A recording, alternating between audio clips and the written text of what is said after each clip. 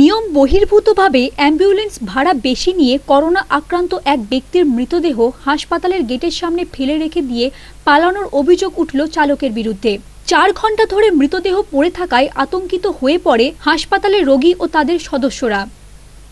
ঘটনাটি ঘটেছে নদিয়ার শান্তিপুরের স্টেট জেনারেল হাসপাতালে।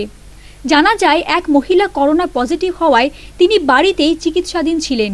অবস্থা আশঙ্কাজনক হওয়ায় মঙ্গলবার তাকে হাসপাতালে নিয়ে আসা হয়। রোগীর বাড়ি থেকে হাসপাতালের দূরত্ব চার কিলোমিটার।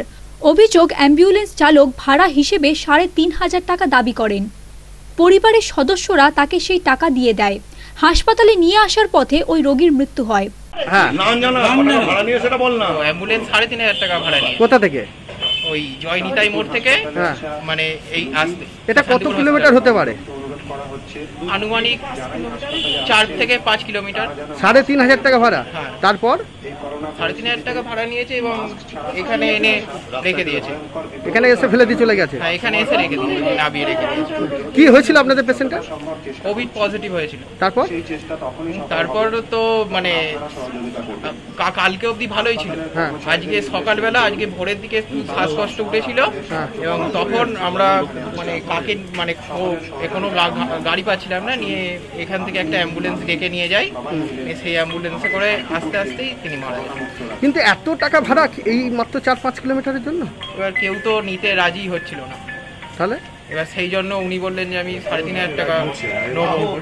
বাধ্য হয়েই আপনারা সাড়ে তিন এবার আমাদের তো ধরুন আমাদের তো আরও বাড়িতে মানুষজন আছে এবার বাধ্য হয়ে আমরা কি করব? কিচ্ছু করার নেই। বাধ্য হয়ে আমরা তাহলে আমরা কেউ নিয়ে আস নিয়ে আসছে না তাহলে আমরা তাহলে তাহলে বডি তাহলে বাড়িতেই রেখে দিতে হতো। কেউ যদি না আসতো। অভিযোগ অ্যাম্বুলেন্স চালক হাসপাতালের গেটের সামনে মৃতদেহ ফেলে রেখে পালিয়ে যায়। এটা পুরোটাই অযুক্তি কারণ। এইভাবে যদি মানুষের আমরা এর আগেও একদিন বলেছি যে আমরা মানুষ, মানুষের পাশে দাঁড়াবো, কিন্তু এই অমানবিক কাজ, এই অমানসিক, মানবিকতার কাজ যে করেছে তার শাস্তি হওয়া দরকার।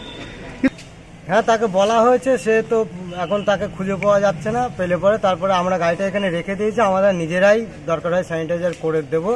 এই এইরকমভাবেই আমরা গাড়িটাকে এখন আপাতত, আপনি দেখতে পাচ্ছেন এখানে গাড়িটা খালি অবস্থায় দাঁড় করানো আছে, এটাকে স্যানিটাইজার করা হবে। হাসপাতালের সুপার ডক্টর তারক বর্মন জানায় বিষয়টি তারা প্রশাসনকে জানায়। পুলিশ ঘটনার তদন্ত শুরু করেছে। হ্যাঁ কি বলবেন?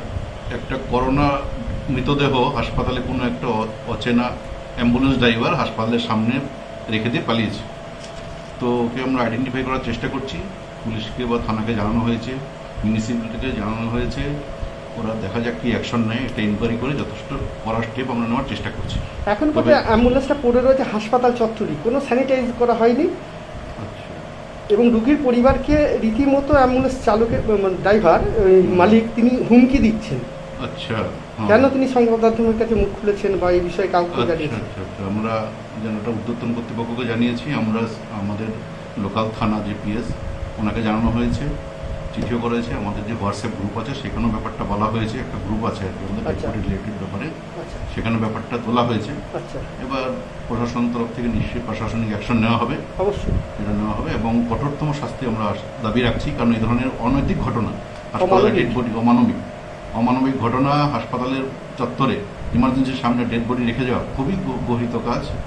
তার জন্য অন্যান্য পরিষেবা ব্যাহত হচ্ছে আমাদের। আমরাও এটা নিয়ে হয়রানি সংক্রামক সম্ভাবনা রয়েছে।